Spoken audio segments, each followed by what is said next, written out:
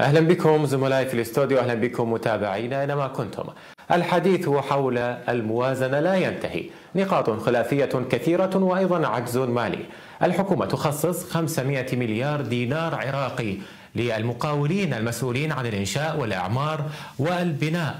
المشكلة ليست هنا ولكن كيف ستؤمن هذا المبلغ؟ ستؤمنه من قوت المواطن الذي يحتاج أيضا إلى دعم وإلى حلول عاجلة ربما آه، لدعمه في لقمة عيشه؟ هنا تكمن المشكلة، الحكومة العراقية دائما تقوم بطرح قوانين ربما وآليات لا يستطيع المواطن تحملها، قامت بطرح سعر صرف الدولار وأيضا أقرت بأن سعر صرف الدولار في الموازنة القادمة لا يتغير سيبقى كما هو وهذا سبب آه، عبئا كبيرا على المواطنين.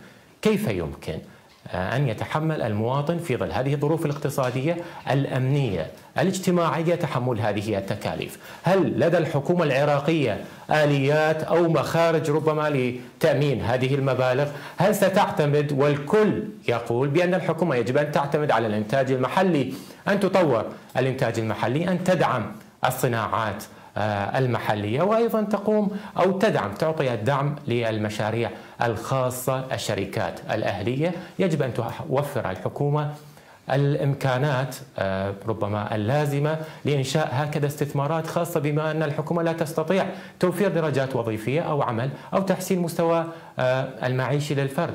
نتمنى من الحكومة العراقية عندما تقر فقرات في الموازنة التي تدور حولها نقاط خلافية وخلافات كثيرة من جميع الأطراف. أن تؤمن المبالغ أن تعطي الحلول قبل أن تعطي قوانين لا يستطيع الشعب تحملها. اذا نعود الان لاستكمال النشرة في الاستوديو.